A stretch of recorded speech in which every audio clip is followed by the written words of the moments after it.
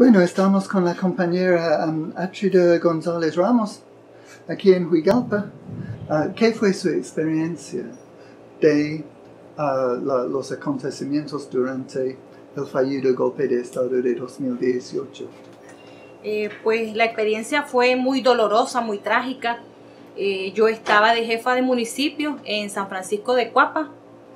Eh, habíamos cuatro compañeros varones y dos mujeres.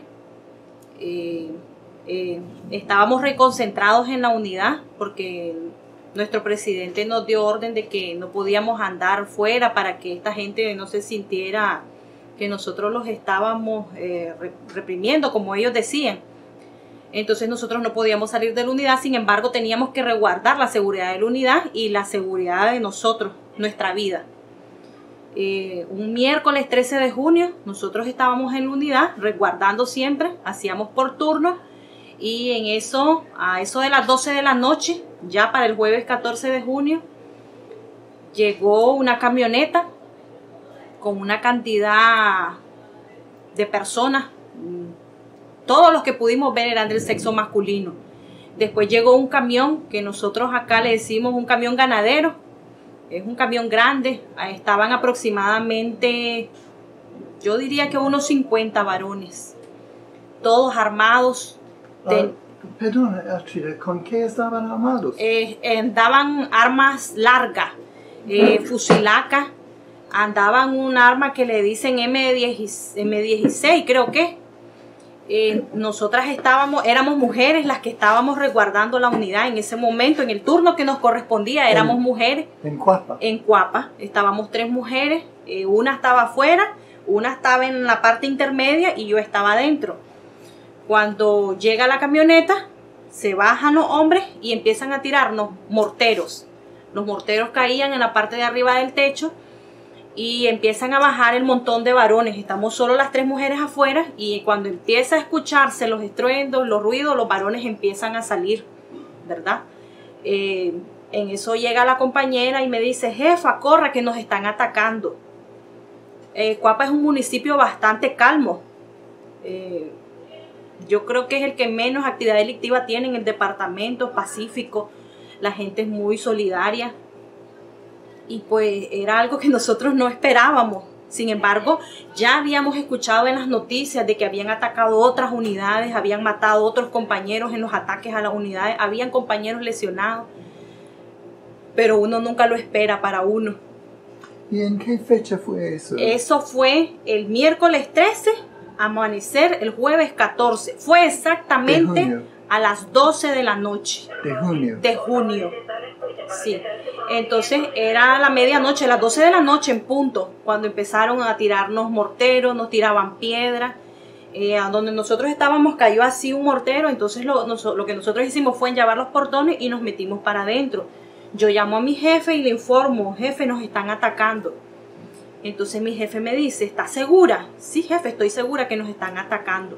Pero tampoco mi jefe lo podía creer. Eh, puse el teléfono en altavoz para que él escuchara, porque los hombres entraron y nos gritaban. Puedo decir las palabras que ellos nos decían. Sí, claro. Entonces ellos entraban y decían, policías, mierda, ríndanse, policías, mierda, los vamos a quemar, van a morir calcinados, ríndanse.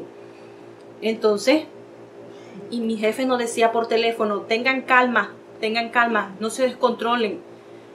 Pero él nunca nos dijo que nos iba a mandar refuerzos y nosotros tampoco lo preguntamos. Ellos llegaron y entre ellos, entre la cantidad de hombres que andaban ahí, resaltaban cuatro voces. Entonces le decían, este, matemos estos hijos de la gran puta, que se rindan, que se rindan. Este, policías, mierdas, policías, asesinos. Y nosotros estábamos ahí, ellos eran 50 aproximadamente, eran 50, eran dos camionetas, una camioneta Hilux color negra, una camioneta de una cabina color plomo y un camión ganadero. Todos, la mayoría de las personas eran del sexo masculino, yo no vi ninguna mujer. Después se, se acercaron al portón, al primer portón que está, y el portón tenía dos candados, el de la puerta pequeña y el de la puerta grande. Y con los fusiles empezaban a golpear los candados hasta que los rompieron. Ingresaron y eh, empezaron a, a rociar la camioneta, la patrulla de la policía, la empezaron a rociar y la quemaron. Con gasolina. Con gasolina, sí, rociaron la camioneta con gasolina y le pegaron fuego. Entonces la camioneta empezó y yo llamo a mi jefe, jefe, le digo, están quemando la patrulla, me voy a salir. Porque era difícil decir que le íbamos a hacer frente a 50 hombres y nosotros éramos cuatro mujeres y dos varones. Entonces, este, mi jefe dijo, no, las cosas materiales se reponen, hija, déjalo que la quemen. Entonces, pero yo estaba molesta, estaba indignada, porque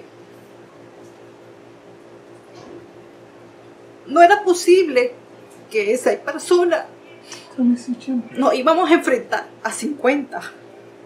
Era difícil. Sin embargo, yo quería hacerlo, quería hacerlo y nosotros, cada quien tenía su fusil, cada quien tenía su arma y realmente lo que estaba era molesta, estaba indignada. Yo quería que, que, que ellos me dijeran, vení, nos vamos a agarrar, que para eso nosotros estamos preparados.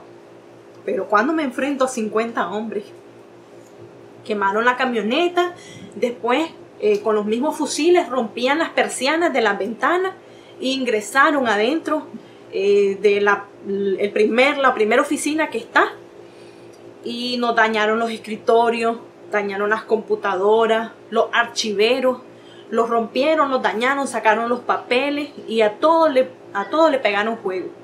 Todo, todo pegaron juego. Este, ellos de la posición en la que estaban empezaron a dispararnos. En, en, la, en la policía está, en el frente están las señas de los disparos que ellos nos hicieron a nosotros. Sin embargo, no pudieron ingresar hasta donde nosotros estábamos. Posterior a eso sigue otro espacio y andaban un tubo y con el tubo ellos querían romper para poder ingresar a donde nosotros estábamos. Nosotros respondimos al ataque, no tuvimos policías lesionados, pero difícilmente íbamos a, estar al nivel de ellos porque eran más de 50 hombres. Eh, nos rompieron todas las ventanas buscando cómo ingresar. Por suerte, la infraestructura de la unidad yo creo que nos ayudó bastante, aparte del poder de Dios y la Virgen, porque no pudieron ingresar. El ataque empezó a las 12 de la noche y a eso de las 2 y media llegó un refuerzo de aquí de Huigalpa, eh, un municipio vecino de nosotros mismos, por orientación de nuestro jefe, también llegó. Este, y, ellos nos llegaron a, a auxiliar. Cuando los compañeros llegaron, ellos se acababan de ir. ¿Y ustedes dispararon? Nosotros respondimos al ataque, sí, nosotros respondimos al ataque, este, pero no les sabría decir si salieron lesionados de ellos. Creo que no. No quedaron gente herida en el lugar. Por parte de nosotros no hubieron lesionados. No, sí destruyeron completamente la unidad, dañaron el zinc, porque ellos nos tiraban este bombas molotov ellos nos tiraban bombas. Este, y esos hombres que le digo que eran las voces que más resaltaban, le decía, tirarles bombas molotov, tirarles molotov para que mueran calcinados estos hijos de puta. Y ¿qué información tiene sobre las personas que ordenaron el ataque y, de quienes lo coordinaron? Mire, lo que, lo que nosotros tenemos entendido es que igual que los ataques a las demás delegaciones, por ejemplo, los policías, los cuatro policías que murieron en Morrito, ellos fueron producto de, una orden directa de Medardo Mairena y, de la Francisca Ramírez, que eran los que estaban dirigiendo los tranques, estaban aquí en San Pedro del Lóvago. Eh, la gente que nos llegaron a atacar a nosotros salieron del, de, también del retén, del tranque, quiero decir, que estaba en la entrada a Huigalpa. E incluso los compañeros nos decían que cuando nos estaban atacando a nosotros, ellos estaban celebrando aquí con disparos, porque ellos creían que nos habían matado a todos nosotros y nos rodearon, la unidad la rodearon porque ellos creían que nosotros íbamos a salir por la parte de atrás.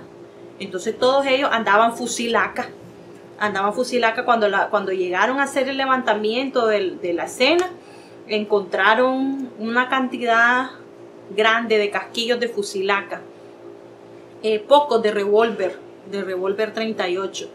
Eh, lo que nosotros supimos es de que la orden era directa de Medardo Mairena y la Francisca Ramírez, que eran los que estaban dirigiendo esto. Un odio sin sentido, porque nosotros servimos a la patria y a la seguridad ciudadana. Y, y ellos tenían odio hacia nosotros por trabajar para el gobierno, Sí. para nuestra institución. Me imagino que ustedes, usted y sus compañeros sufrieron las secuelas de eso. Eh, sí, fíjese que es algo eh, doloroso, doloroso. El ataque de nosotros fue antes del ataque de Morrito. Sin embargo, cuando nosotros nos atacaron, ya nosotros estábamos pendientes, vivíamos pendientes de las noticias, escuchando los compañeros caídos. El mes de junio fue el- eh, la cantidad de policías que cayeron más. Entonces ya habíamos escuchado que en los tranques de, de León habían caído policías, habían atacado una unidad policial y habían eh, secuestrado a un compañero que después fue encontrado solo la osamenta, eh, a los otros los habían asesinado. Entonces, pues somos humanos y nosotros sentíamos miedo, eh, teníamos, teníamos temor porque lo más valioso que una persona puede tener es la vida y era lo que ellos andaban buscando.